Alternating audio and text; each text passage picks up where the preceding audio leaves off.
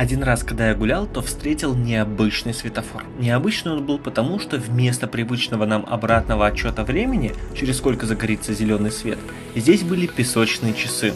Только посмотрите, сейчас горит красный и вниз сыпятся красные песчинки, причем их действительно становится все меньше и меньше. А когда загорается зеленый, то начинают сыпаться зеленые песчинки. Как вам такой светофор? Меня он немного удивил.